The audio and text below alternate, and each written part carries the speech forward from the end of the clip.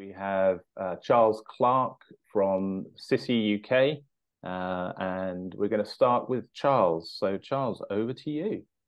Thank you very much. Okay, so uh, my name is Charles. Uh, I am uh, an associate professor uh, in cybersecurity at the University of Roehampton.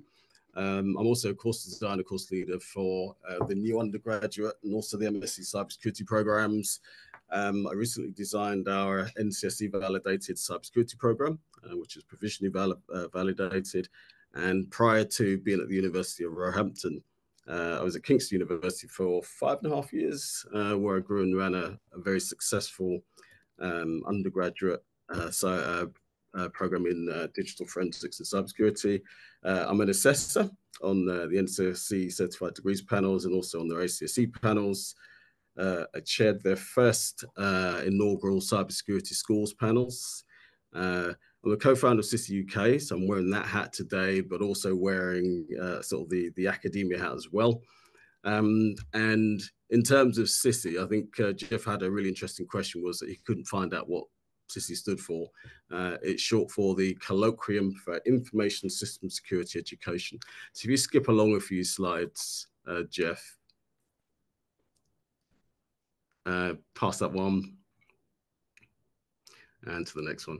So um, UK uh, is uh, effectively a, a collaborative um, cyber security education community group. Uh, we work with lots of uh, institutions, uh, academic institutions, institutions across the UK as part of um, cybersecurity education ecosystem uh, as championed by NCSC uh, and we are supported by NCSC as well. Um, so if you go to the next slide, um, so there's that typical triad of um, government, industry, and academia. So you need the next one. Uh, but also within this ecosystem, we've got professional associations. If you go to the next one, uh, standards organizations. And you know what I'm going to do? I'm just going to run my slide so I've got my narrative in front of me. Um, community organizations, which we are part of. And then, of course, the last one is uh, certification organizations. So I guess, um, what do we do? So conferences, um, we uh, run workshops, boot camps, uh, and the key thing that we are really focusing on at the moment and where we're really getting most of our activity centers around something called the Cybersecurity Education Problem Book. Um, was originally inspired by the uh, cybersecurity research problem book that NCSC hosts, um, but we wanted to do something slightly different. We wanted to do something that was a lot more uh, interactive, something that was a lot more um, driven by impacts rather than sort of discussing and talking about issues. We wanted to do things that would actually make a real difference. Um, if you go to the next page, uh, one of the, I'll, I'll do, uh, give a quick example of uh, what a problem book is. So the problem book itself is a virtualized collaborative platform. Um, it's for ideation and ideally uh, solving problems. And typically, within um, one of the challenges we have in uh, cybersecurity education, as I'm sure Wace, who I met some time ago, will know, and can champion as well as Nigel, um, is that um, we tend to end up with situations where uh, we've got lots of isolated conversations, but really we need to have that collaborative narrative uh, in terms of how we might um, impact uh, cybersecurity education on a much broader scale. Um, so I'm going to give a really simple example. Um, if you go down to the very bottom of the next one, and go beyond that one. Uh, I'm going to give a simple exa example. So we've got, uh, I think it's seven problem books at the moment, so seven problem book projects, I should say. Uh, one of them centers around the idea of uh, work readiness of students. Um, so being on the sort of the front line and the coalface of um, meeting students when they first come into university, and also seeing what happens once they leave university, um, it's clear that there are some disconnects. Uh, there are definitely some gaps, um, and I suspect that that's having a bit of an impact in terms of uh, the uh, sort of potential success of those that might be leaving to move into cybersecurity careers. So if we look at the first box I've listed there, uh, basically says, you know, recruitment to university cyber and computer science has been successful. So we have had lots of students in. But on the other side of that, um, we've got varied abilities. Um, we've got lots and lots of well-being issues, uh, morale issues, particularly since um, the pandemic. Um, next slide. Uh, so widely acknowledged shortage of cyber specialists. We know about that. Um, If we go to employers, a lot of employers want work-ready students, and what I'm seeing, not just on my program, but also from um, programs from other institutions, is that we hear a sort of a common narrative with students, which is um, not really having the confidence and not feeling quite ready for work and really having no strategy. If we go to the next one. Uh, so students' expectations at the moment, and it's still here. So I've been sort of talking about this for the last three or four years. Is that you know I get a degree, a degree and I get a job, and in some cases, uh, for those really strong students, that's great. But the reality is, is that particularly in cyber, it's not. If you're going into sort of um, SOCs, places like that, then you know it could be a first tier move, but for quite often it's a second or third tier move for many. Um, social mobility opportunities are far more extensive. That's a huge positive. But what we're now seeing is that some students are paying a lot of money. Um, they're accumulating long-term debt. So then you've got to think about, you know, is there a value um, on, uh, uh, is there a, a, good return on the value that they've actually, over the time they've uh, invested in the degrees that they're trying to acquire. And next slide.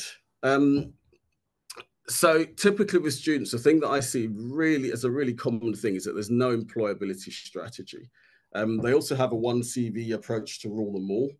Um, limited commitment to evidence and skills, another big challenge. Uh, title-centric job searches, so they look for titles rather than actually looking at perhaps the uh, the requirements that jobs might want. So typically they might look for um, term SOC analysts, but they'll miss all of the technologies they might have an opportunity for uh, studying and learning about, which might give them a much broader scope.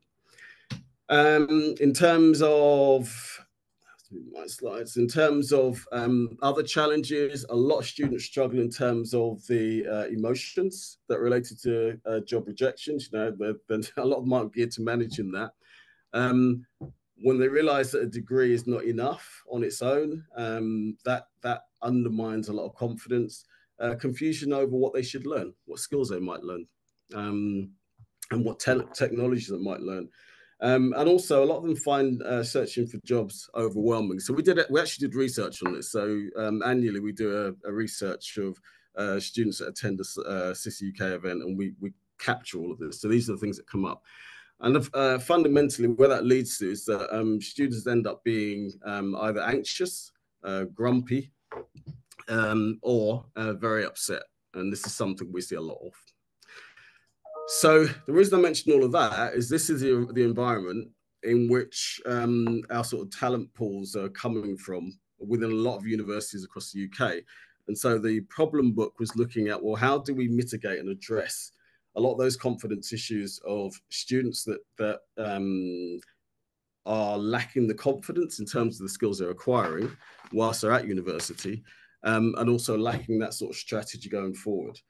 Um, so next slide, if that's right, Jeff. Um, so what we did, so CCK last year, July, sorry, this year, July through to September, we ran uh, something called uh, an internship project. Um, so Kingston University, um, who I still have a connection with, uh, had nine students uh, that all took part um, in um, a live project, right? So this project was defined by uh, academics. They were real. Uh, they were building up building applications, and was these were real applications that students that, that the university required, and so they were basically put to work. Um, they were collaborative. Um, they were practical projects. Uh, they had a duration of 12 weeks. Um, and CISSE's role in this was basically as uh, an observer. And once the students, uh, an observer and a validator, but once the students actually completed um, their internship projects. Uh, we then gave them a, a, recommendation post on LinkedIn, but we put them through the mill and they jumped through um, you know a lot of hoops uh, to actually complete the uh, program successfully. Um, in terms of next steps, um, we're going to repeat this again. Um, so this is the we did a pilot uh, last year. We'll we'll do this again over the summer But some of the challenges that we're facing in terms of how we want to sort of expand this out and really uh, bring in that authenticity is to elicit projects from industry. Um, we've got, you know, projects coming out of areas from academia. Um, we get projects from government, but we really need more from industry. Um, we're really interested to hear about recruitment issues that organizations might have and how we might be able to try and mitigate and work towards challenging some of those issues uh, particularly if you know we can work with students uh, on a live basis. Um, and the other key point is is that employability within universities is now is now a key performance indicator. Um, so one thing we are looking at and have started doing some work on is embedding some of these activities into uh, courses uh, across a number of universities. So I'm working there with Abertay and University of West of England on this at the moment. Um, and that is it.